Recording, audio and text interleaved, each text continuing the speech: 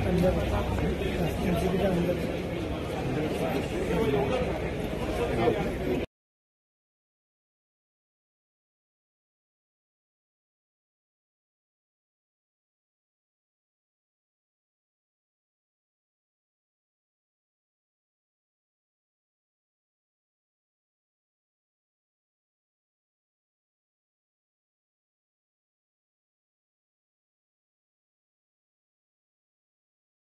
हिवाळी अधिवेशन दोन हजार बावीस हे नागपूरमध्ये होत आहे.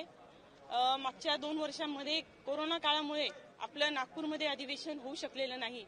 आणि तीस सप्टेंबर दोन हजार बावीस या दिवशी मला परमेश्वराने हा पुत्ररत्न दिलेला आहे याचं नाव प्रशंसक आहे. अडीच महिन्याचं झालेलं आहे पण अधिवेशन आहे.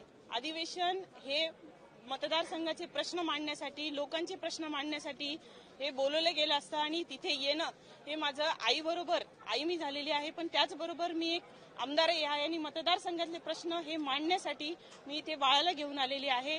बाळ इथे एखाद्या कक्षामध्ये सुरक्षित राहील माझे फॅमिली मेंबर्स आलेले आहेत ते त्याला सांभाळतील आणि मला जेवढं शक्य होईल तेवढं मी अधिवेशन अटेंड करून मतदारसंघातले प्रश्न आणि मतदारसंघातल्या लोकांसाठी न्याय मागण्याचा माझा प्रयत्न राहील.